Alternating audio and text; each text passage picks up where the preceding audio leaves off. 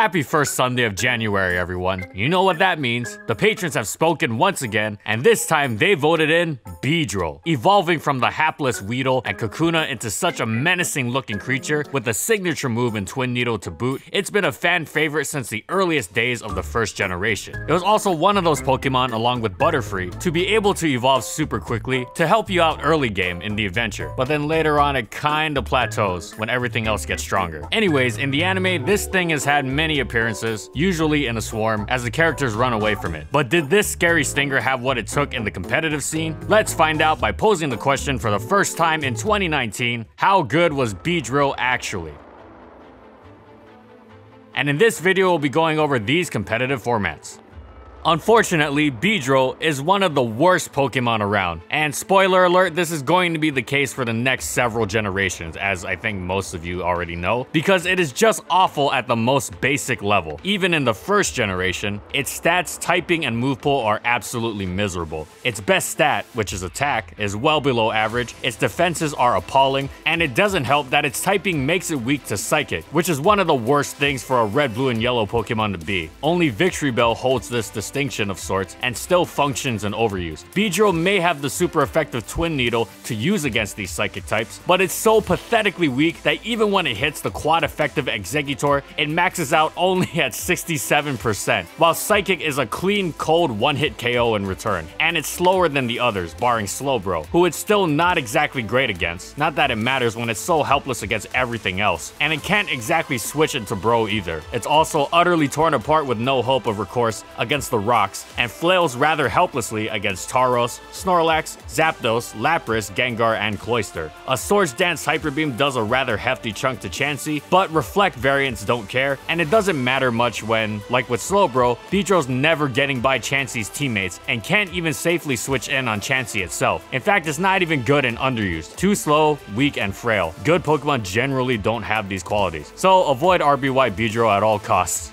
Now on to Gen 2, as if the new Pokemon additions of Skarmory, Forretress, Steelix, Tyranitar, Raikou, Suicune, and Misdreavus weren't bad enough, old standbys such as Snorlax, Zapdos, Gengar, Rhydon, and Cloyster continued their reign, and to top it off, everything got leftovers, so Beedrill was even more inept at killing anything. At least this time it got real stab moves in Sludge Bomb and Hidden Power Bug, but the latter still couldn't even one-hit KO Exeggutor. Also, it was completely outclassed as a bug type by Scizor, and in this generation, generation, Scizor was not even that good. It was almost merciful that spikes were introduced this generation, so in case anyone made the mistake of bringing Beedrill, there would at least be a timer on its awfulness. Beedrill was unusable and underused as well. Again, yeah, just avoid it. Now on to Advanced, there's Tyranitar Sandstream, Skarmory's 3-layered spikes, Levitating Gengar, incredibly tough new Pokemon like Swampert, Salamence, Jirachi, and Metagross, Dugtrio's dangerous Arena Trap, and of course the continued reign of the incredible Zapdos and Suicune. This is but the tip of the iceberg regarding the standard level of Gen 3 overuse. As you may be able to surmise, Beedrill does not belong anywhere near such company. It is bad against literally every single Pokemon in overuse. If you really want to use an offensive bug in overuse, just use Heracross Heracross, because Heracross is actually amazing, unlike Beedrill, who is walled and outsped and killed by everything. Also, you can forget about underused for our honey-bringing friend too, and off to never used it Ghost. Even there, it's outclassed by the likes of Raticate of all things. So, yeah, rip Beedrill. Alright, Diamond and Pearl. The power creep of the fourth generation was enough to knock out even some of Advance's veterans, such as Regice and Claydol. Thus, it's no surprise that Beedrill was nowhere near being an afterthought in this generation. Despite getting some cool moves in U-Turn and Toxic Spikes, it was still not going to do anything when old and new Pokemon alike just destroyed it. Not only was Skarmory still around, Heatran had joined it. Now in Underuse, some sets for it technically existed, but Baton Pass variants were entirely outdone by Scyther, so the only thing that Beedrill could theoretically do was be a Toxic Spikes lead, ideally taking advantage of its low defenses to bring something down to 1 HP with Endeavor. However, a Toxic Spikes lead is not so desirable when Venusaur is everywhere to soak them up upon entry, so this means that one's lead slot was wasted. Not to mention the fact that Beedrill tended to get completely dominated by common leads such as Mismagius and Qwilfish. Thus, the star of the Bee Movie was never actually used, or dropped to never use, and didn't do anything interesting there either, what with Regirock and Charizard at every corner. Once more, Beedrill was the pits.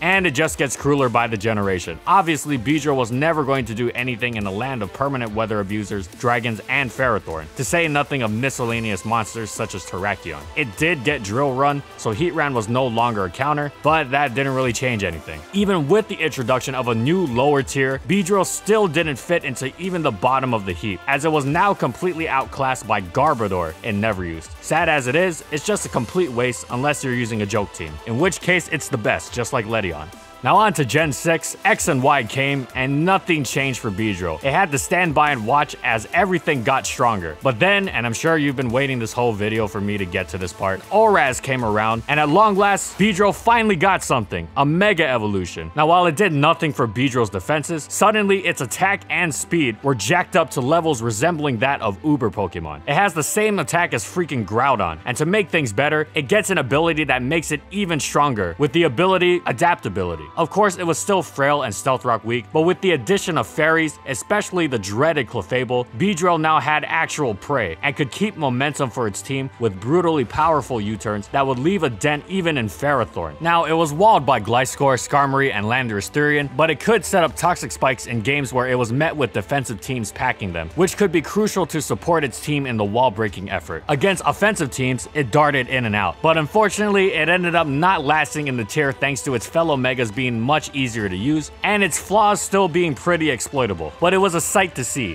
Beedrill for once was actually effective in overuse. It wound up dropping to underuse, but much like Pidgeot, this is where it was tremendous. It rounded out its stabs with Drill Run to smash Cobalion, and it was one of the premier offensive threats. The prominence of Defog helped with Beedrill's Stealth Rock weakness, so it could slice through everything with that terrifying U-turn. Since it needed to use Protect to safely get a Mega Evolution off, this also allowed it to scout the intentions of faster Choice Scarf Pokemon. However, the biggest thorn in its side was a fellow Mega in Aerodactyl, who was faster and packed Pursuit, which would make quick work of the bee. However, it was a fantastic Pokemon overall, whether it was picking off opposing offense or Swords dancing its way through stall, and one of the defining ORAS underused Pokemon. Plus, its stint in overuse is not forgotten. Finally, Beedrill won in a major way. Now on to Sun and Moon, the 7th generation saw pretty much the same pattern as the 6th for Beedrill, except it didn't really appear in overuse at all, except for one gimmicky team used by a couple of brave slash crazy players, depending on how you look at it, but overall it just wasn't worth it. But it wasn't a bad Pokemon at all, it just wasn't overused material. However, once more it's shown in underuse, and thanks to it now getting its 145 speed, as soon as it Mega Evolved, it could finally drop Protect for a fourth move, increasing its utility even further. It mostly used the buff knockoff to cripple walls, while not passing up on the crucial coverage offered by Drill Run, although Toxic Spikes, Pursuit, and Swords Dance were great choices as well. Of course, Mega Aerodactyl and its own Pursuit, boosted further by Tough Claws, remained a thorn in its side, but overall, it was a major threat in the metagame once more, because not only did its own attacks, pardon the pun, sting, but its own U-turn kept up the pressure for its fearsome teammates. Now before we wrap it up, you may have noticed a lack of VGC presence for Beedrill, even after it got its Mega. Sadly, much like singles, it was too frail and the environment was way too harsh for it to be of any use in pre-Mega, and was thus nowhere to be found. Like seriously, it doesn't even have any gimmicks like Fake Out or whatever. But the sad part is, even after receiving its Mega Evolution, though there seems to be a count of its use in early rounds, there are no notable placements for it, which isn't surprising because it still honestly had many predators. In 2015, when Mega Beedrill debuted, Talonflame murdered it for obvious reasons, as did the ubiquitous ruler of the tier, Mega Kangaskhan, as well as other big guns like Landorus Therian, Heatran, and Aegislash. Mega Beedrill just can't compensate for Intimidate very well, and even as a Mega, it's still too frail, thus getting destroyed by Priority and other common super effective moves. Not to mention, it's hard to give up the Mega slot to use Beedrill over a much better Mega. In 2016, the aforementioned threats still existed, and so did the so-called Ubers. So basically, it was the same deal minus Talonflame for the generation, and in Gen 7, once again, yeah, no notable use. Say la. And that's it. So how good was Beedrill actually? Well, until it got its Mega Evolution, Beedrill is one of the worst Pokemon ever. And that's not inaccurate or harsh. But after it Mega Evolved, it didn't quite become overused material, although it does mean something to see it in that environment at all, as more than a joke. But it did become one of the best underused Pokemon alongside former overused titans such as Blissey and Infernape, which is far more than it ever could have dreamed of prior. So there's that. And as for VGC, it was destroyed by pretty much all of the metagame, so there's not a lot of hope there. Beedrill was given a new lease on its life with its Mega Evolution, to the extent that they even dropped its special attack, so they could pump more into attack and speed, and not go over the plus 100 base stat total limit. And this shows that there may be hope for even the most dismal Pokemon out there. Yeah, so if you see a crappy Pokemon, just throw a Mega on it, maybe it'll be okay. Thanks for watching everyone. Shoutouts to the patrons for continued support of our videos and for voting for this Pokemon this week. And as always, if you liked the video and you want to see more, be sure to subscribe to False Swipe Gaming for more weekly Pokemon content. And of course, as I always say, comment on what Pokemon you want to see next. And follow my crew and whatnot on the social media platforms. And that's all I got. See you next week, everyone.